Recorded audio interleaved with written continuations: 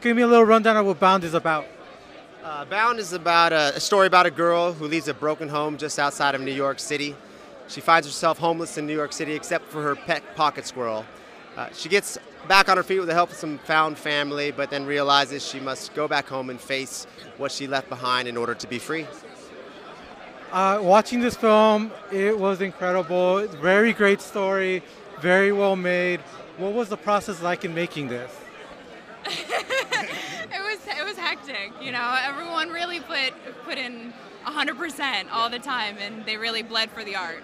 It was, uh, it was an literally. ambitious it was ambitious project. We we had we shot a lot of days. We didn't have a lot of money, and we had you know we had animals, we had tree houses to build, we had rain machines to make, and I really challenged the actors uh, with very little to no rehearsal time.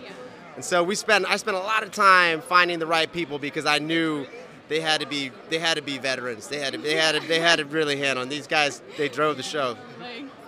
Uh, and reading the, the press release on that, it is loosely based on your experiences. What was it like seeing that on screen?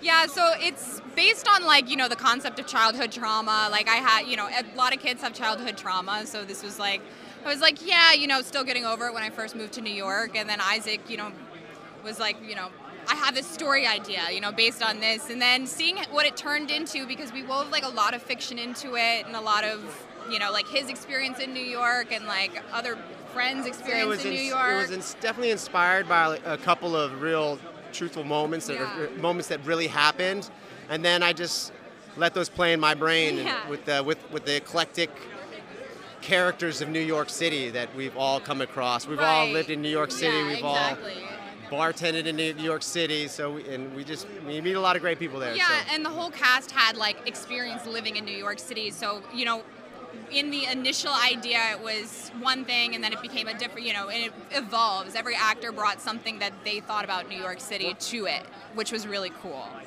And now you're bringing this to Dances with Films out here in LA, and it's going to be shown at the iconic Hollywood TCL Chinese Theater. How does that feel? Awesome.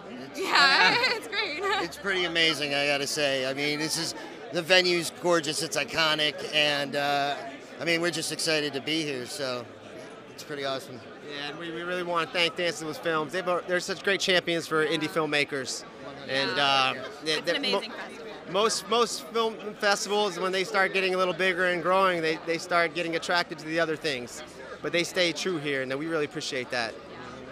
What are you hoping uh, the crowd reaction will be to this film? Tears. it's the usual reaction, tears, I think. but um, I mean, for me, like I want them, I want them to be laughing and then crying. I want the roller coaster of emotions, and then I want a few moments, hopefully, where uh, the, the production company I called Par- Paralysis Productions because I like the moments in movies where like everything just kind of stops, and we're just like in a in a vacuum almost. So. If we could have a couple of those, that would be nice. But yeah, And just for people to feel like they're not alone. I think that was a big part of it too, because there are a lot of different characters that have very different experiences. So, and they're real people. They're not just like Hollywood movie stars and stuff. So we want the viewers to leave and be like, yeah, like that is me, you know. And I haven't seen that in a movie before. I haven't felt represented yet. Well, congratulations on this. It's a brilliant film, and you know, thank you very much for your time. Thank you very much.